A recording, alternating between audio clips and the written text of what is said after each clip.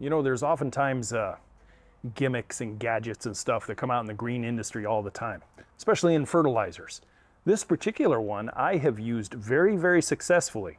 Now, it might be a little placebo effect, but I used to treat a lot of my plantings the night before with this product. Does not take very much, a couple of three drops per gallon, and then douse it in the, the plant material. You can do it when you've planted. I used to do it in the containers before I planted, and it really warded off transplant shock very, very well.